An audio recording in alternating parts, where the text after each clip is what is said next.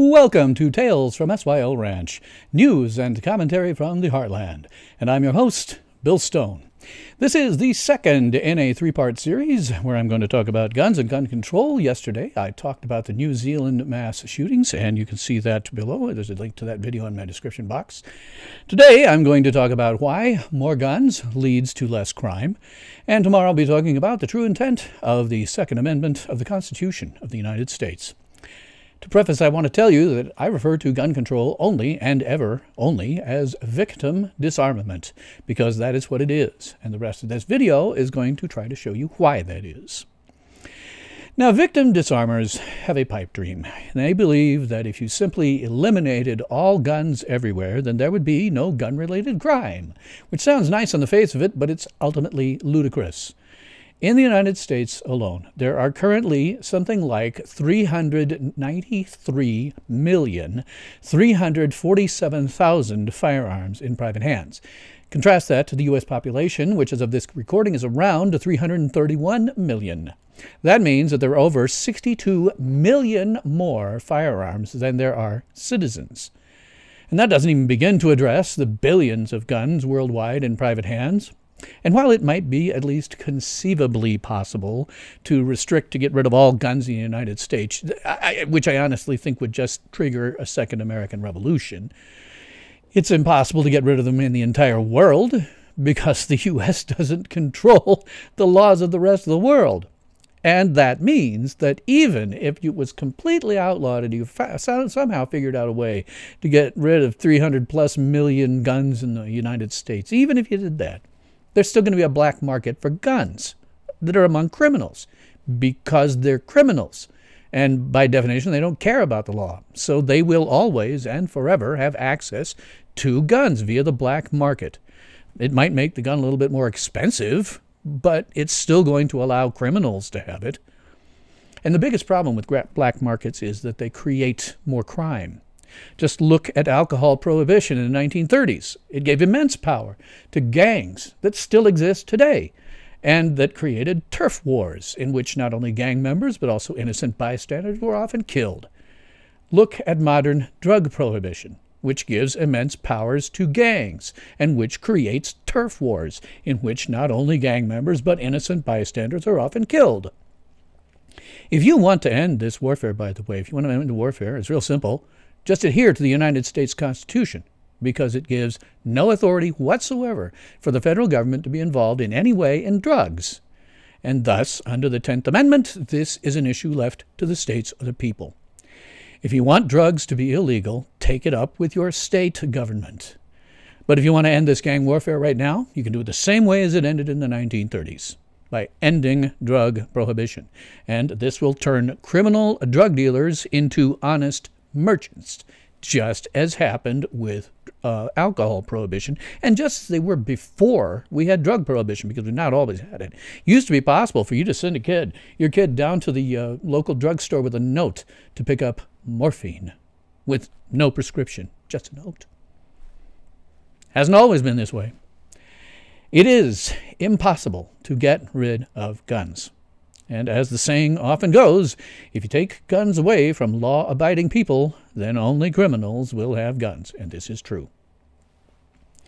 One of the other reasons I talk about gun control as victim disarmament is because simply this a couple of pounds of lead and steel can equalize a 120 pound woman against a 250 pound rapist. She has the ability, by simply reaching into her purse, to fend off an attacker and avoid rape, beating, and possibly death, because they're all things that happen during sexual assault. It'll also equalize a 90 year old grandmother with almost any kind of an attacker, whether it's a rape, because believe it or not, that happens, a home invader of some kind, or just some psychopath on the street. And this is why gun control is really victim disarmament. You can't eliminate guns. It is an impossible pipe dream. If you take guns out of private hands, you are creating more victims for criminals who, by definition, do not care about laws. Now, if you want a perfect example of this, behind me, because I never put anything on my green screen that isn't intentional, I choose everything very, very carefully. It's almost never the same. If you want to get an idea about this, look at this building behind me. This is a convenience store on Chicago's south side. So let me do something because I think it's fun. We'll do it a little bit in the style of Jack Webb from Dragnet.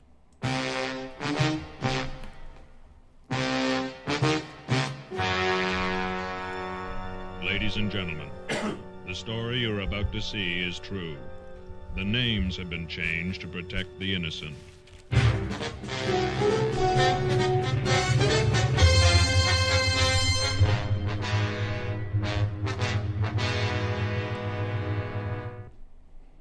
This is the city, Chicago, Illinois.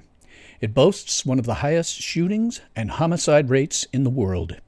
Between January 1st and March 19, 2019, there have been 350 individuals shot in Chicago, 65 of whom were murdered.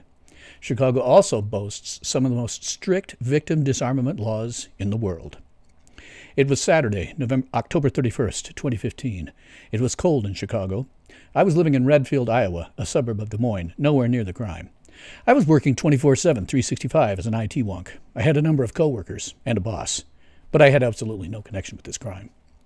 At 7 p.m., 55 year old Reg- Reginald Gildersleeve entered the store that you see behind me. He announced a robbery and brandished his gun to the clerk behind the counter.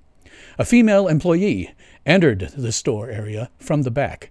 Gildersleeve pointed his weapon at her and made her go to the back of the store. At that point, a customer inside the store drew his concealed weapon, fired multiple times at Gildersleeve, killing him.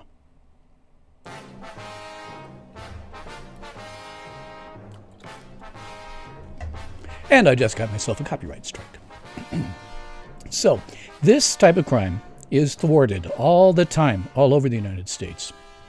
Imagine for a moment that Chicago didn't have such strict victim disarmament laws. How many of those 350 individuals shot in Chicago, 65 of whom were murdered in Chicago, since January 1, 2019 of this year until March 19th, 2019, the day I recorded this. 350 people shot, 65 murdered. How many of those could have been stopped? How many of those 65 people would be alive today had they the ability to protect themselves from their murderer? And moreover, this is one you guys, victim disarmers, are really going to hate. Victim disarmament is completely and utterly uh, heartless. It's heartless. Someone in favor of victim disarmament would rather see a woman raped, strangled to death with her own pantyhose, and her body dumped in an alley, rather than see her with a gun in her hand. So if you're a victim disarmer, I want you to chew on that for a moment, because you are utterly heartless. You would rather see a woman raped, strangled to death with her own pantyhose, and dumped into an alley rather than see her with a gun in her hand. What sort of person does that make you?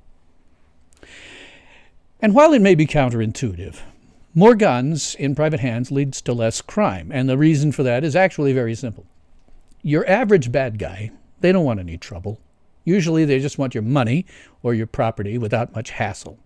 If you resist in some way, he very well may kill you, but he'd frankly prefer that you weren't there at all, or at least cowered in a corner, rather than putting up any kind of fight. Having a gun on your hip introduces potential trouble for the bad guy.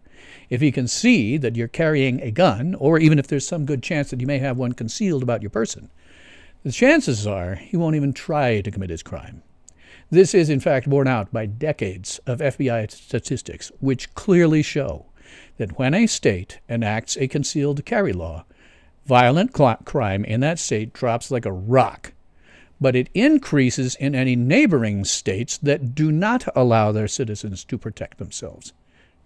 What happens is real simple. They get scared over here, they go somewhere else where they can find disarmed victims. And then there is the issue of mass shootings and terrorist attacks. There is not a single mass shooting in the United States or otherwise that could not have either been eliminated, reduced, or potentially at least staved off were victims not disarmed. Take 9 11 as a perfect example. Americans are unconstitutionally stripped of our Second Amendment rights in airports and on aircraft. This wasn't the case, by the way, until the 1980s. Prior to that, any citizen could take any gun on any aircraft, and the sole question that anyone would ask them would be the flight attendant. She might say, um, "Do you, if you had a long gun, do you want me to take that and secure it up front where it won't get hurt, as opposed to sticking it in the overhead bin?" That was it. That was all he'd ever be asked. There's a brilliant cartoon here, by the way. This is by a uh, buddy of mine, Scott Bieser. Um, you can uh, see this cartoon on his website and see other information on his website and other work that he's done. Uh, great guy, um, libertarian. I've known him for years. Uh, you can find his website in a link below. And it perfectly illustrates how 9 11 could have been avoided. And while, you know, and I certainly agree in this case, a picture is worth a thousand words, Scott, I'm still going to sit down and, and, you know, try to explain it anyway. Had victims not been stripped of their constitutional rights on aircraft, 9 11 would not have happened. And that's because the terrorists would have been fired upon by an unknown number of people from totally unknown directions. In fact, it's likely that the terrorists wouldn't even have tried because they would have known that it would be utterly futile to do so. Now, take the recent mass shootings in New Zealand. What if some of those poor victims had been armed rather than being reduced to cowering in the corners. At the very best, the murderer wouldn't even have tried because he would know it would be futile, since he would be fired upon and killed by any number of unknown people from totally unknown directions. At the very worst, it would have reduced the number of deaths because armed individuals would have killed this murderer before he had a chance to kill too many other people. You can take any mass shooting anywhere that has ever occurred, and the same thing applies. At the very best, the shooter, would, shooter wouldn't even have attempted it because they would know the futility of it, since he would be killed from an unknown number of people from unknown directions. At the very worst, it would have reduced the number of deaths because an unknown number of armed individuals would have killed the murderer from unknown directions before he had a chance to kill too many people. So, the last thing, really last thing I want to point out, I want to talk to victim disarmers. I'm talking straight to you guys now. If you are a victim disarmer, you must always remember that you are so heartless that you would rather see a woman raped murdered by being strangled to death with her own pantyhose and her body tossed in an alley rather than see her with a gun in her hand. What sort of person does that make you? And that is all that I have to say about that for today. So please tune in again tomorrow for the last in this series, which will be the true intent of the Second Amendment to the United States Constitution. So thanks for watching me. And if you like what I'm doing, please do like, sub, hit the notification bell, and share me on uh, social media, and to tell all of your friends, family, neighbors, pets, and livestock to do the same. I would certainly appreciate your support, either via Subscribestar, my PayPal tip jar, or a link on my website where you can support me further. And there are links to all of those in my description box below below. So thanks for watching Tales from SYL Ranch. And remember, for a breath of fresh air, watch Tales from SYL Ranch. News and commentary from the heartland. And I'm Bill Stone. Ultimate power in this world has always been one simple thing the control and manipulation of minds.